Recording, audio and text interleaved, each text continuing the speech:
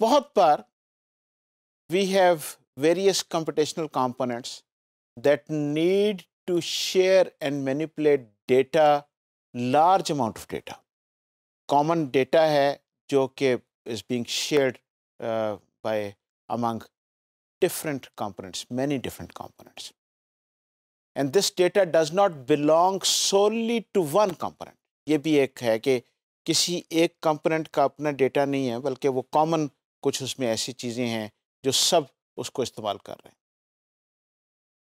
And the problem really is that we want to address is how can system store and manipulate persistent data that is accessed by multiple independent components तो ये हमारा problem है।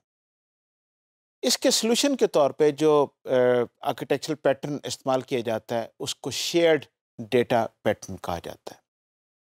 In this pattern interaction is dominated by the exchange of persistent data between multiple data accessors and at least one shared data store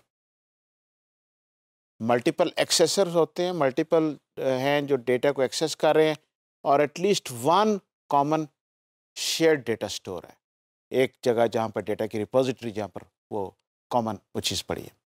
An exchange may be initiated by the accessor or the data store. दोनों में से push भी किया जाता है और पुल भी किया जाता है। जो एक्सेसर है, वो, जो क्लाइंट जो है, वो खुद डेटा को रिक्वेस्ट कर सकता है और डेटा एक्सेसर की तरफ़ पुश भी कर सकता है डेटाबेस ये दोनों तरीके से ये काम करता है।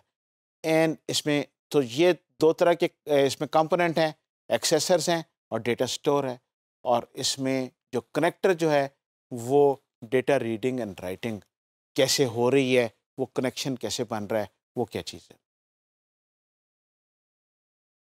ये एक एग्ज़ाम्पल हम देख सकते हैं, जिसमें हमारे पास एक सिस्टम है, जो कि इसमें सेंट्रल एक आपके पास डेटा की रिपोजिटरी है, जिसमें सिक्योरिटी एंड एक्सेस के बारे में इंफॉर्मेशन मौजूद है। और इस सारे इस डेटा की रिपोजिटरी को as you can see there are many different accessors who are using these, the central repository that we और यहाँ पर एक चीज़ और आप देख सकते हैं कि यहाँ पर दो छोटे छोटे अलग से भी डेटा की रिपोजिटरीज हैं। एक तो सेंट्रल रिपोजिटरी है, जिसको सारे डायरेक्टली और इनडायरेक्टली उसको यूज़ कर रहे हैं but then there are two separate data repository एक आपको वो टॉप के कॉर्नर पे आपको नज़र आएगी, जो उसमें दो आपके डिफरेंट कंपोनेंट्स लगे हुए हैं और उसको वो यूज़ कर रहे हैं।